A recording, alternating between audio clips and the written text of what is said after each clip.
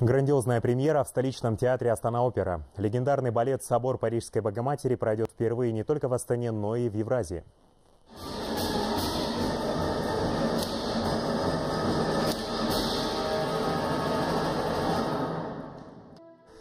Эксклюзивное право воссоздать спектакль казахстанскому театру предоставил фонд «Балеты Ролана Петти».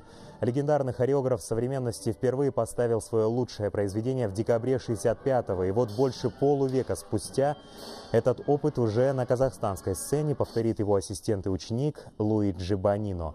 Драма любви красавицы Эсмеральды, Квазимода, священника и капитана Феба живет в игре солистов театра Мадины Беспаевой, Айгерим Бекетаевой, Рустема Ситбекова, Бахтияра Адамжан и других. Декорации для спектакля привезены из Франции, костюмы сшиты по эскизам и образцам подлинных нарядов и в Сен-Лорана. Сейчас проходят последние репетиции. Спектакль пройдет 25-26 июня.